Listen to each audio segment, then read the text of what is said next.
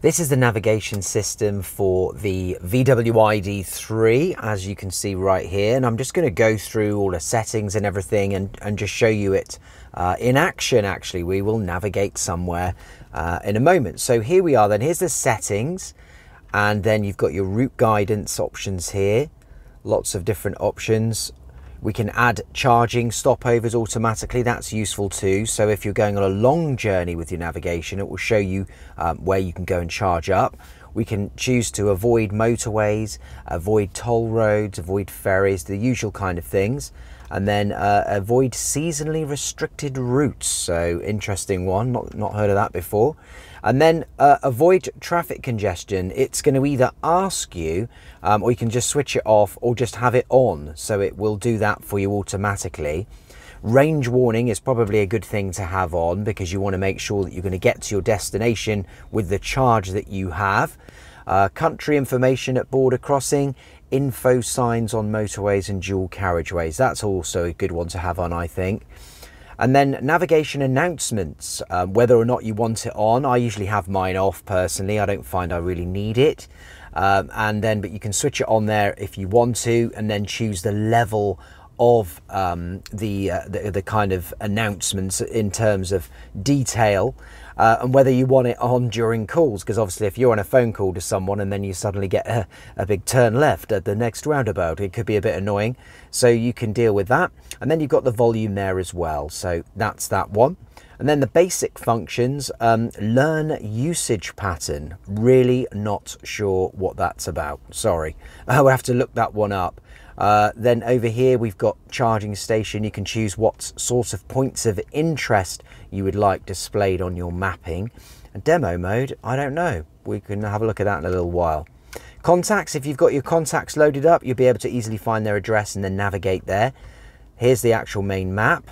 And then your destinations here, you can you know, put in all your different things. You've got suggested ones, last destinations, and your favorite destinations as well there. If we go to uh, map, the map's really quite good. Uh, you can see like this is where we are and then it would go to there if we've set a destination. We've got a real quick and easy way to turn on and off the navigation announcements, which I think is a real pain for a lot of people in a lot of cars. Uh, I drive a lot of cars and, and sometimes you cannot work out how to shut the navigation up. Well, this is how you do it here. So you just compress that and then you can choose how you want the navigation to look, whether you want it in kind of night mode, automatic or day mode. So I'll just do that. Uh, range, whether you, you want your range taken into account, uh, you can turn that on and off here. Obviously it being an electric car. And then this just takes us straight down now to the position that I'm in. And you can also pinch and zoom as well, like this. So that's quite useful and move things around um, there you go you can see we are there now the other good thing um, with the navigation is and you'll see this in a moment when I film this is what happens is just up here and the very front of the dashboard is this big long LED light.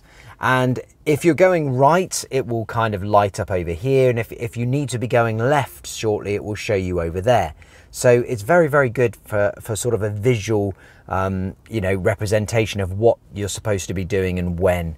And then in here as well, they actually have the uh, navigation. You can choose to see like the arrows and things going left and right here and how long you've got before you've got to turn off.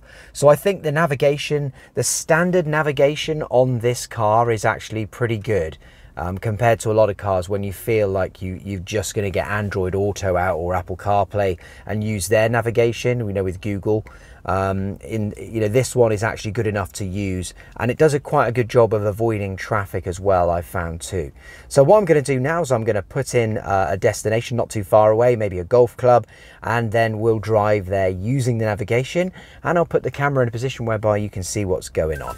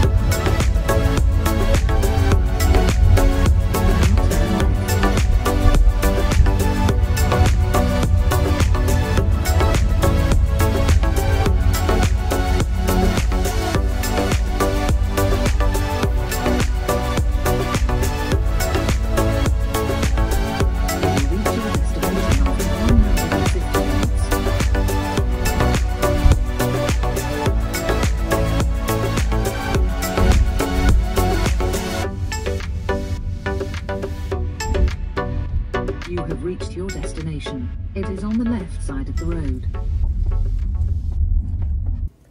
So we've ar- arrived successfully at our destination using the VW ID3's built-in navigation.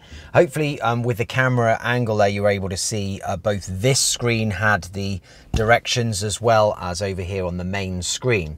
Now the other thing that I noticed uh, that as we were going along there is the light at the top of the, the dashboard there was not working for a while.